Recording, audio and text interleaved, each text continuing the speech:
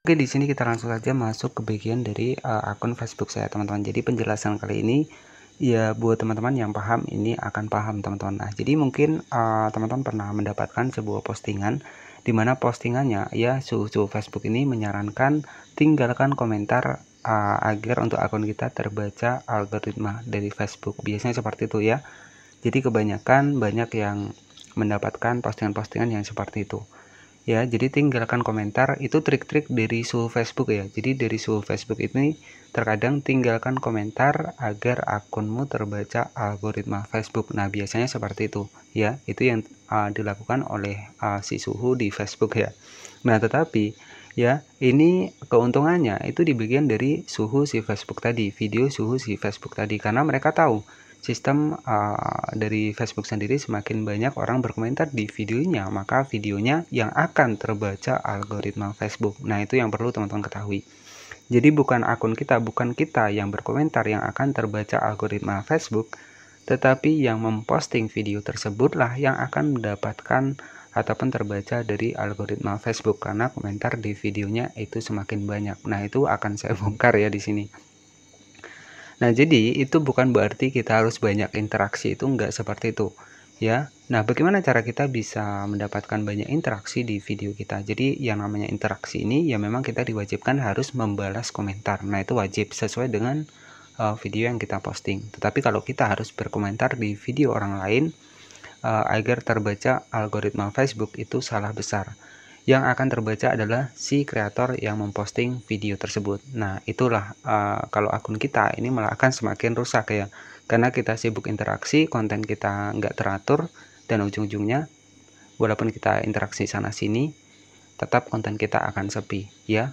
Sedangkan konten yang kita komentar terus itu malah semakin rame. Nah, kenapa? Karena mereka bisa membawa orang-orang berkomentar di dalam video mereka. Nah, bagaimana cara kita untuk uh, mengatasi hal-hal tersebut? Jadi, teman-teman juga harus memiliki sebuah trik bagaimana cara agar video teman-teman itu bisa dikomentari banyak orang. Jangan kita yang sibuk berkomentar, tetapi uh, buatlah seseorang itu uh, pengguna Facebook ini sibuk berkomentar di video kita. Nah, itu kuncinya ya jadi jangan kita sibuk berinteraksi ke sana ke sini. Mendingan teman-teman membuat video dan buatlah uh, pengikut di Facebook ini berkomentar di video kita. Nah itu yang harus teman-teman lakukan.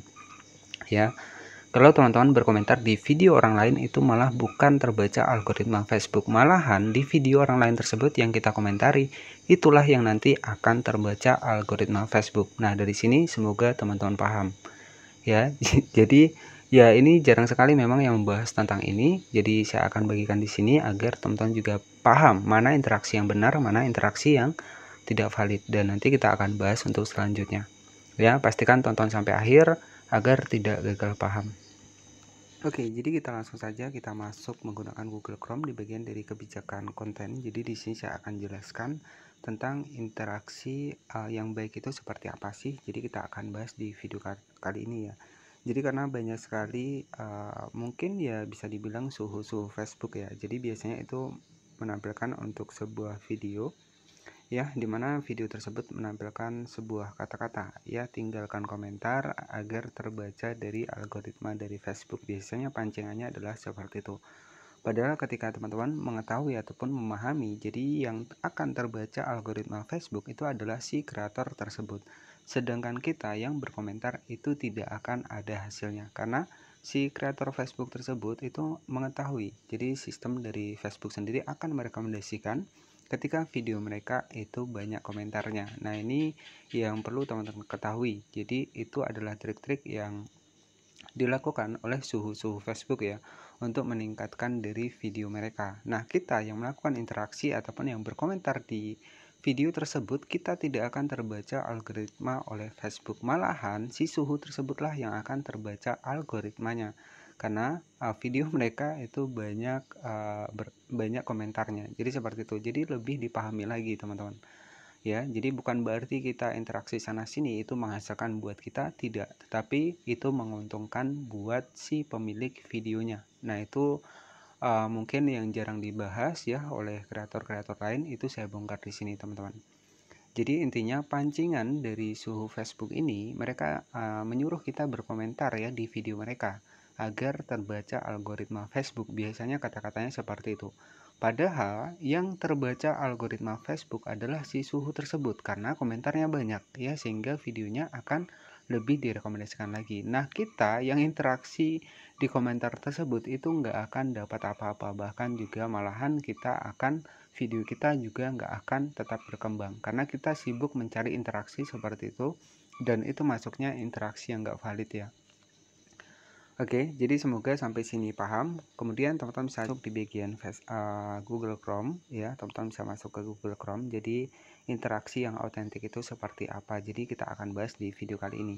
Jadi interaksi yang autentik adalah interaksi yang memang uh, ini alami ya. Di sini dijelaskan interaksi yang autentik adalah interaksi yang alami. Akan jelaskan. Jadi interaksi yang alami ini seperti apa? Jadi saya akan bahas di video kali ini. Kita akan bahas tentang interaksi yang harus kita lakukan itu interaksi seperti apa sih? Jadi kita akan bahas di video kali ini. Nah, di sini untuk uh, di bagian dari kebijakan monetisasi mitra sendiri disebutkan bahwa interaksi yang autentik ataupun yang alami adalah uh, misalkan nih sebagai contoh singkatnya saja video kita tentang masakan kemudian ada yang berkomentar besok masak ini bun. Nah kemudian teman-teman membalas nih oke okay, uh, besok kita akan bahas masakan ini. Nah itulah komentar yang alami. Artinya uh, si penonton ini memang berkomentar sesuai dengan video kita. Ya, itu yang dimaksud adalah interaksi yang alami ataupun komentar yang alami. Bahkan dari Facebook sendiri itu mewajibkan kita membalas komentar. Nah, itulah interaksi yang alami. Maksudnya di sini itu sebagai contoh singkatnya.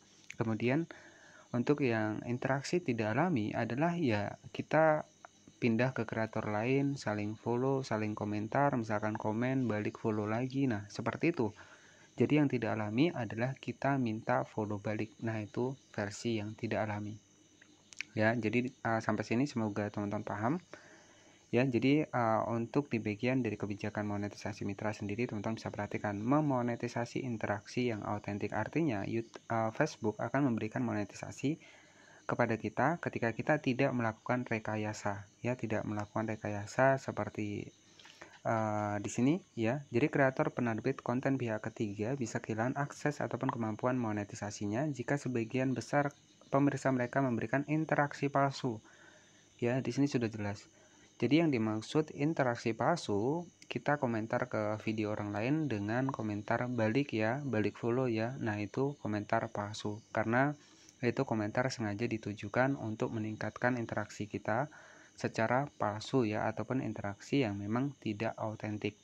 Nah, jadi interaksi yang alami itu seperti apa? Interaksi yang alami adalah berkomentar sesuai dengan isi dari video kita. Ya.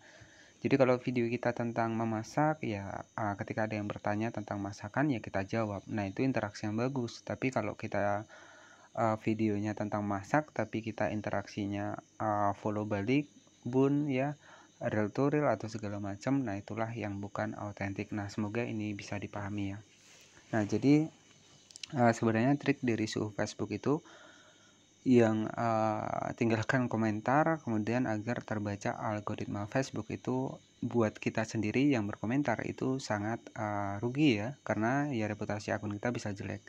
Tetapi yang kita komentari tersebut itu videonya akan berkembang. Karena kenapa? Karena mereka uh, mengetahui bahwa sistem dari uh, Facebook ini di mana semakin banyak orang berkomentar videonya akan mendapatkan rekomendasi. Nah, jadi di sini teman-teman kalau lebih paham lagi, yang akan terbaca algoritma Facebook adalah kreator yang memposting video tersebut ya. Kemudian uh, video tersebut akan banyak yang berkomentar, maka video tersebutlah yang akan mendapatkan rekomendasi dan juga bisa FYP. Karena banyaknya komentar, karena di situ suhu sudah tahu nih ya bahwa uh, sistem kerja di Facebook adalah seperti itu. Semakin banyak orang berkomentar, maka videonya akan semakin FYP. Nah, tetapi kita yang melakukan komentar ataupun memberikan interaksi, kita nggak akan dapat apa-apa.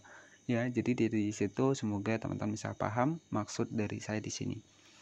Ya, sebenarnya ya ini ya teman-teman juga bisa melakukan trik seperti itu. Nah, jika teman-teman ingin melakukan trik seperti itu, itu juga bisa juga teman-teman lakukan. Ya, dengan catatan ya teman-teman harus uh, memberikan sebuah tulisan-tulisan uh, yang memang mengundang bagaimana cara orang tersebut mau berkomentar di video kita. Nah, jadi seperti itu.